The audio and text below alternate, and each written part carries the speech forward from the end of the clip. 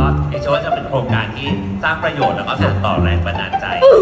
เช่นเคย ค่ะ ก็นอกจากทางแบรนด์ซุปไก่สกัดนะคะแล้วก็ทางสิ่งดีๆนะคะอ่า mission เหล่านี้นะคะทำให้เราใจฟูมากๆนะคะทางหน่วยงานต่างๆค่ะ ก็